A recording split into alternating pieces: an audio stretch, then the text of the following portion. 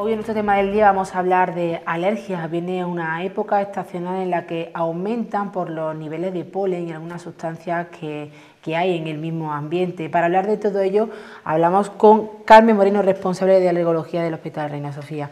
Carmen, eh, viene una época un tanto complicada para las personas alérgicas por las sustancias, las partículas que tenemos por la estacionalidad del año. Efectivamente, en otros sitios el problema es otro, pero aquí el problema importante son los pólenes. Fundamentalmente el polen del olivo, a mucha distancia de, los otros, y en segundo lugar también importante el polen de las gramíneas, pero no son los únicos. Eh, ¿Por qué cada año eh, cambia ese nivel de polen y, a qué se debe este cambio en, los niveles? Eh, pues el polen, los polenes son células germinales de las plantas y como mm, todos los seres vivos pues cambian en función de causas y de, elementos ambientales. A las plantas les afecta la pluviosidad, les afecta la temperatura, entonces depende, pues, por ejemplo el olivo, que es un, es un árbol leñoso, Mm, eh, va a producir más o menos flor dependiendo del frío o el calor que haya pasado durante los meses de invierno, de lo que le haya llovido en invierno. Las gramíneas, que son plantas herbáceas, que son pequeñas espigas, eh, en cambio, pues acusan mucho lo inmediato, ¿eh? como tienen unas raíces cortitas, pues si les llueve mucho este agua, por ejemplo, que está cayendo ahora, servirá para que haya una generación de gramíneas a continuación. ¿eh? O sea que crecen más las plantas, pues si tienen más sol, si tienen el agua cuando tienen que tenerla. ¿Y este año a qué nivel nos enfrentamos en Córdoba? Eh, bueno, pues este año mm, la sequía pertinaz que hemos tenido a lo largo del otoño y a lo largo del invierno parecía que anticipaba una primavera pobre, en el sentido de escasa polinización.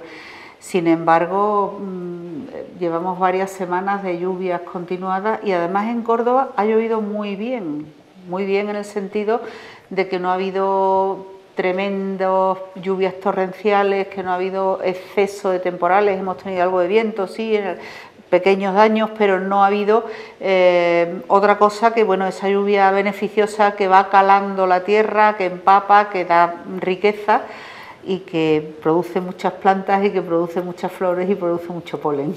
Podemos tener una previsión de bastante asistencia, ¿no? Sí, en principio los datos que tenemos nosotros somos eh, eh, tenemos una capacidad limitada porque somos médicos para anticiparnos, pero sí tenemos eh, colaboración y tenemos datos de los expertos de, de, los, de, los, aerobiólogos de la Red Española de Aerobiología, que tiene su sede, su núcleo, su nodo de control nacional en Córdoba, en la Universidad de Córdoba, eh, y nos anticipan efectivamente que, que, va a haber una primavera bonita, florida.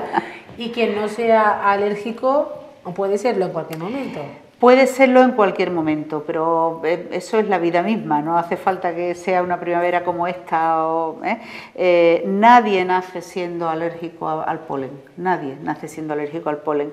Se puede nacer con una constitución hereditaria, una predisposición biológica al padecimiento de esta o de otras enfermedades alérgicas. El que tiene esa predisposición que conocemos con el nombre de atopía, Mm, eh, va a poder desarrollar una enfermedad alérgica a lo que tenga en el ambiente. Los cordobeses, los atópicos cordobeses, tienen muchas probabilidades de desarrollar una enfermedad alérgica al polen.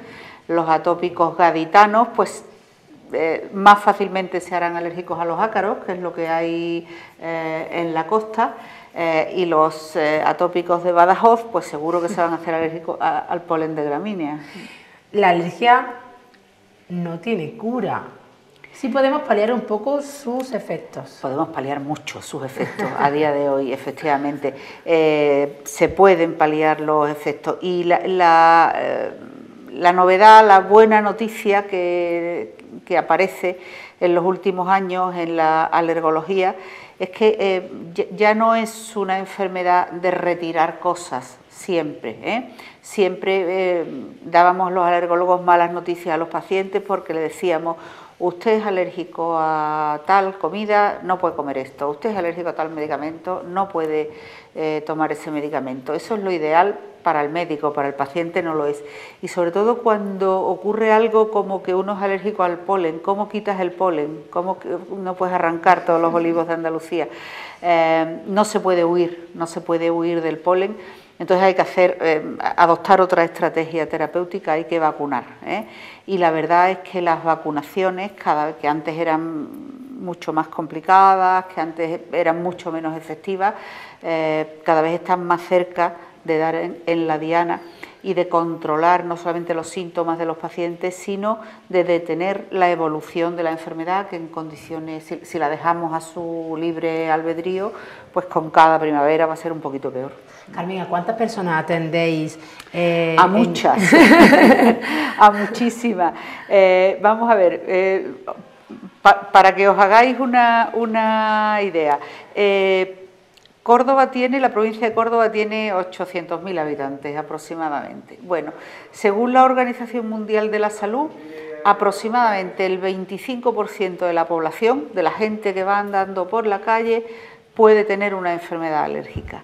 O sea que estamos hablando ya de 200.000 de 200 personas.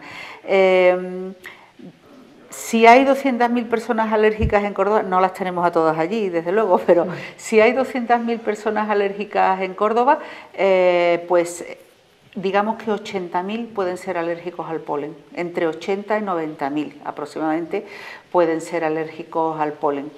Y ahí hay un rango mm, de personas que van eh, desde manifestaciones muy, muy leves, manifestaciones muy conocidas por todo el mundo, de nariz, de ojos, efectivamente picor, pero que no pasan de ahí y que se controlan bien con alguna medicación, hasta manifestaciones muy graves, enfermedades muy evolucionadas, que tienen asmas y asmas muy graves, que eh, si las dejamos evolucionar pueden aparecer eh, reacciones muy graves también a algunos alimentos de tipo vegetal, de origen vegetal. Eh, bueno, nosotros tenemos ese segmento de mayor gravedad, mm. ese segmento de mayor gravedad, de mayor complejidad, que nos cuesta muchas veces trabajo eh, diagnosticar y que bueno que a lo mejor diagnosticaríamos más fácilmente si nos vinieran un poquito antes y no aguantaran tanto hasta que las manifestaciones son excesivamente graves. Ya por último aprovechamos que lo tenemos aquí para seguir hablando de alergias, pero en otro sentido, porque cree que cada vez hay más personas alérgicas a alimentos, a sustancias, a la lactosa, al gluten. Es un hecho, bueno, la lactosa y el gluten eh, no producen enfermedades alérgicas, producen eh, la lactosa produce intolerancia, efectivamente, y, la, eh, la, celiaquía, la enfermedad por hipersensibilidad al gluten es otro tipo de cosa, no, es exactamente como la alergia, pero sí tienes mucha razón. Es cierto que cada vez hay más, más enfermedades alérgicas y si tuviéramos que explicarlo de una manera sencilla, porque la razón es muy compleja y no hay solo una, pero si tuviéramos que mm, decirlo de una manera sencilla, deberíamos decir porque somos una sociedad cada vez más, más desarrollada, cada vez más rica y estamos cada vez más en el primer mundo. Las enfermedades alérgicas son enfermedades de gente rica, de pueblos desarrollados, no hay enfermedades alérgicas en el tercer mundo. Nosotros tenemos mm, comportamiento y estilos de vida, medidas de higiene, alimentación, etcétera, cada vez más de, pueblos del primer mundo y hay que pagar algún precio por eso. Uno de esos precios, no es el único, pero uno de esos precios es el padecimiento creciente de enfermedades alérgicas. Pues Carmen, muchísimas gracias por aclararnos que tenemos que tener cuidado esta primavera con el polen y con el nivel de alergia que se nos puede presentar y estaremos muy pendientes de esos efectos de la sociedad cordobesa de la alergia. En cualquier caso, en cualquier caso, que no cunda el pánico, que no cunda el pánico porque Córdoba tiene unas primaveras fuertes, más o menos, pero fuertes todos los años y sobre todo tiene una primavera maravillosa que merece la pena salir a comérsela. Muchísimas gracias. A vosotros.